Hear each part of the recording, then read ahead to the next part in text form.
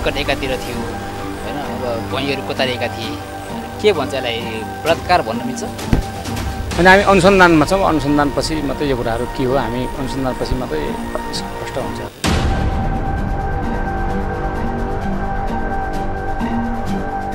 मृतक आफैले हाम फालेको हो भने पनि यति तल आइसक्ने हो जस्तो मलाई लाग्दैन। यहाँनिर केही न केही कर्तव्य हुनसक्छ भन्ने चाहिँ मेरो अनुमान छ। हामीलाई उक्त घटनाको भिडियो भने कास्की जिल्ला प्रहरीले खिच्न दिएन र हामी तपाईँलाई त्यो भिडियो देखाउन असमर्थ छौँ।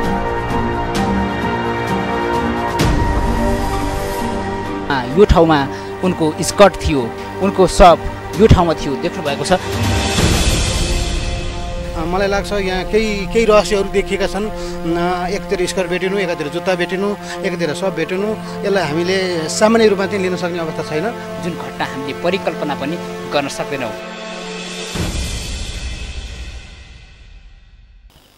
दर्शकबिन बिन्दवासिनी माविमा पढ्ने तेह्र वर्षीय बालिका पुष्पा केसी हिजो बिहिबारदेखि बेपत्ता भइन्। खोजी नीति तीव्र बनियो तर आज उनको लास प्राप्त भएको खबर हामीले थाहा पाएका छौँ।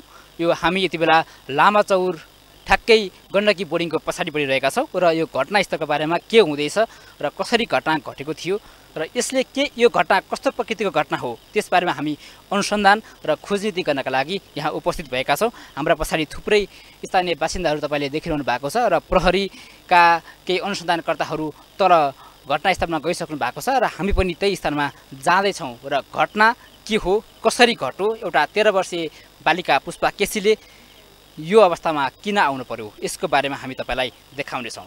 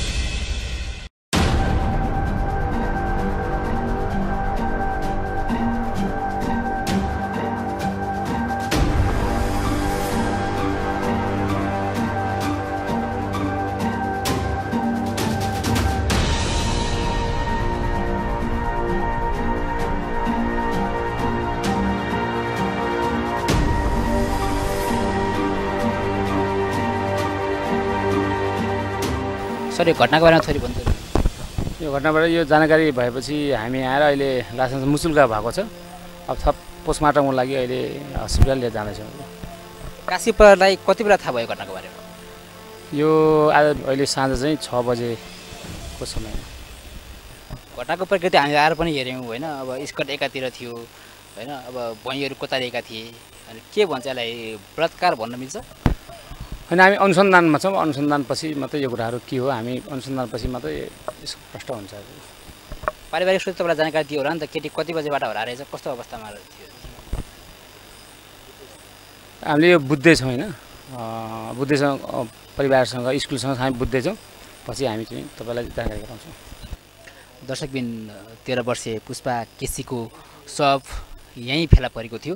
तपाईँले देखिरहनु भएको छ यो घाँसहरू मुडाइरहेका छन् र यहाँ यहाँ आउँदाखेरि स्थानीयवासी प्रहरी आउँदाखेरि पनि उनको अ, स्कर्ट करिब करिब दुई मिटर टाढा थियो भने उनको सब एकातिर थियो र उनले हातमा घाँसहरू र घाँसका पातहरू अठ्याइरहेकी थिइन् र भैँ देख्नुभयो भने कोतारिएको अवस्थामा भैँ देखिन्छ र उनी लडीबुडी खेलेको जस्तो देखिन्छ र चप्पल अथवा उनले लगाएको जुत्ता केही माथि मात्र फेला परेको थियो र भनाइअनुसार कपडा झोला पनि केही माथि डाँडामा फेला परेको थियो र हिजो बिहिबार उनी घरबाट स्कुल गइन् स्कुलबाट घर फर्किँदाखेरि उनी घर पुग्न सकेनन् र उनको शव आज फेला परेको छ। यो लामा चौरको यो झाडी देखिरहनु भएको छ। यो जङ्गल जहाँ एकान्त छ सुनसान छ दिउँसै आउँदा पनि डर लाग्ने ठाउँ यो ठाउँमा उनको शव फेला परेको थियो र तपाईँलाई देखाउँ दर्शकबिन यो यो ठाउँमा उनको स्कर्ट थियो। उनले लगाएको स्कर्ट र बेल्ट सहितको एउटा पेटी सहितको स्कर्ट यो ठाउँमा थियो भने उनको सब यो ठाउँमा थियो देख्नुभएको छ। तपाईँले यहाँ लडीबुडी खेलेको र उनले अठाएका यी झारपातहरू उनको हातमा थियो लसार पसार भएको। हामी यसरी बुझ्न सक्छौँ स्कर्ट यहाँनिर भेटिनु र उनी त्यहाँ उनको लास त्यहाँ भेटिनु। उनले हातमा अठाएका जुन पातहरू थिए लहराहरू थिए र त्यहाँ भुइँ खोसारिनु उनी लडीबुडी खेल्नु। यसको अर्थ उनले प्रतिकार गर्दै थिइन्। हामीले यसरी बुझ्न सक्छौँ र उनी प्रतिकार गर्दा गर्दै उनको हत्या भएको छ। यहाँ र हुन त कास्की जिल्ला प्रहरी प्रमुख ओम राणाले पनि यो कुरा भनिसक्नु भएको छ। हामी अनुसन्धानकै क्रममा छौँ तर हामीले घटनास्थलको बारेमा प्रकृतिको बारेमा भन्नुपर्दा यहाँ हामीलाई उक्त घटनाको भिडियो भने कास्की जिल्ला प्रहरीले खिच्न दिएन र हामी तपाईँलाई त्यो भिडियो देखाउन असमर्थ छौँ। तर यति बेला पोस्टमार्टमका लागि पश्चिमाञ्चल गण्डकी हस्पिटल लगिसकेको छ र अहिले तपाईँको लागि यो घटनाको बारेमा प्रकृतिको बारेमा यति भनौँ कि उनको लास त्यहाँ र उनले लगाएको स्कर्ट यता थियो। देख्न सक्छौँ यो झाडी छ जङ्गल छ। तपाईँ दिउँसै आउनुभयो भने पनि यो ठाउँ एकदमै डरलाग्दो ठाउँ हो। यति बेला हामीसँग पत्रकार यदुनाथ बन्जारा हुनुहुन्छ। उहाँ स्वयं बिन्दवासिनी मावि व्यवस्थापन समितिको सदस्य हुनुहुन्छ र घटनाको बारेमा विद्यालयले कसरी लिएको छ? नमस्कार। नमस्ते। मैले पनि हिजो बेलुका विद्यार्थी हराएको जानकारी पाएँ। म काठमाडौँ थिएँ। चार बजे घर गएको विद्यार्थी पुष्पा केसी उनी अन्दाजी तेह्र वर्षकी छन् छ कक्षामा पढ्छन्। उनी चार बजे घर जाँदाखेरि एक सय मिटर ओरै मलाई मम्मीले केही केही सब्जी किन्नुपर्ने छ भनेर म ओरै झर्छु भनेर त्यहाँ झरेकी हुन्। र त्यस पछाडि हराएकी। र आज एकैचोटि साढे पाँच पाउने छ बजेतिर उनको शव चाहिँ तल भिरको डिलमा भेटिएको भन्ने हामीलाई जानकारी भएको छ। हामी यसमा गम्भीर छौँ। विद्यार्थीको क्षति भएको छ। विद्यालयले एउटा होनार विद्यार्थी पनि गुमाएको छ। र घटना अब के हो? यसको सत्य तथ्य छानबिन हुनुपर्छ। प्रहरीसँग हामी यो माग गर्छौँ। उनको हत्या कसरी भएको हो? मृत्यु हो या हत्या हो? यसमा चाहिँ प्रहरीले गम्भीर ढङ्गले छानबिन गर्नुपर्छ। र हाम्रो विद्यार्थीको निधन मलाई लाग्छ यहाँ केही केही रहस्यहरू देखिएका छन्। एकतिर स्कर्ट भेटिनु एकातिर जुत्ता भेटिनु एकातिर सब भेटिनु यसलाई हामीले सामान्य रूपमा चाहिँ लिन सक्ने अवस्था छैन। प्रहरीले यसलाई गम्भीरताका साथ छानबिन गरोस् र यो हत्याकाण्ड हो भने हत्यारालाई न्यायिक कठघरामा उभ्याउनुपर्छ भन्ने म अनुरोध गर्न चाहन्छु। तपाईँ एकजना व्यवस्थापन समितिको सदस्य नभइकन तपाईँ एकजना पत्रकार पनि हुनुहुन्छ। लामो समय पत्रकारिता गरिरहनु भएको छ। त्यो स्थलगत रिपोर्टमा जुन एउटा पत्रकारको आँखाले हेर्दाखेरि स्थलगत रूपमा जे देखियो त्यो चाहिँ तपाईँलाई के लाग्छ? पत्रकार यसै पनि अलिकति क्रिटिकल रूपले हेरेका हुन्छ शङ्कास्पद रूपले हेरेका हुन्छ। यहाँको प्रकृति हेर्दाखेरि यो भिडमा आएर यति यो लडेर यति तलसम्म आइसक्ने आइसक्ने मृतक आफैले हाम फालेको हो भने पनि यति तल आइसक्ने हो जस्तो मलाई लाग्दैन। यहाँनिर केही न केही कर्तव्य हुनसक्छ भन्ने चाहिँ मेरो अनुमान छ। विभिन्न ठाउँमा यस्तै प्रकारका घटनाहरू पनि हामीले रिपोर्टिङ गरेका छौँ। त्यसमा चाहिँ पछि खोज्दै जाँदाखेरि चाहिँ सामूहिक बलात्कार भएका र कर्तव्य गरी मारिएका घटनाहरू फेला परेका छन्। यसमा पनि मलाई केही शङ्का चाहिँ छ। प्रहरी अनुसन्धान गर्दै रहेको हुँदाले अब हामीले यसलाई घिटानी गर्ने अवस्था त देखिन तर प्रकृति जे देखिएको छ प्रकृतिले मा स्थलगत चाहिँ रिपोर्टिङ हामीले देख्दाखेरि स्थलगत हेर्दाखेरि यो सामान्य चाहिँ हो जस्तो मलाई लाग्दैन।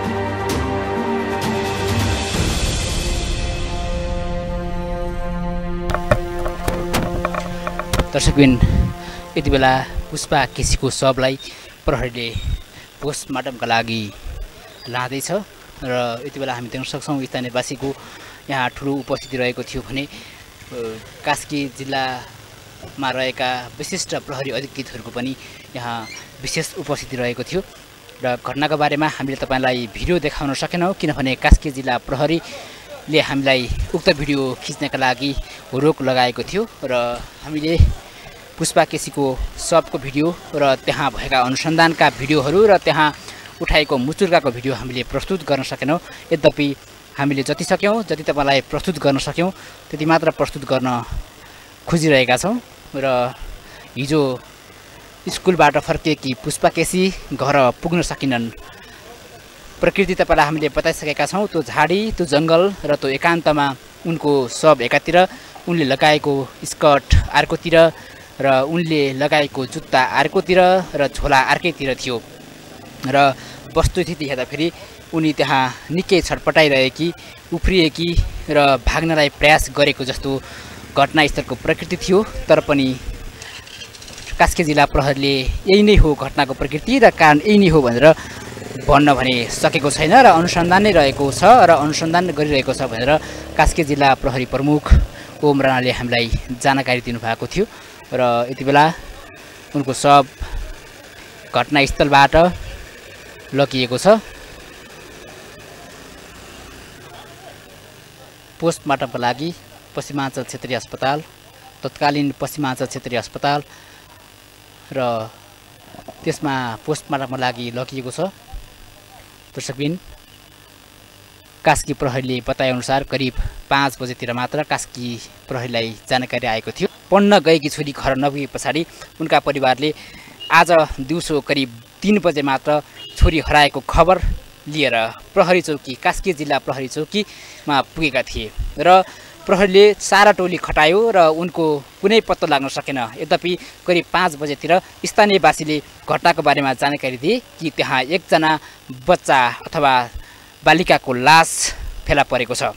त्यो भनेको लामा चौरको ठ्याक्क पछाडि अथवा गण्डकी बोर्डिङको ठ्याक्क पछाडिपट्टि रहेको जङ्गलमा त्यो झाडीमा तेह्र वर्षीय पुष्पा केसीको लास फेला परेको स्थानीयवासीले बताइसके पछाडि कास्की जिल्ला प्रहरी त्यसतर्फ हानियो र अहिले उनको शव लिएर पोस्टमार्टमको लागि कास्की जिल्ला प्रहरीको टोली गइसकेको छ।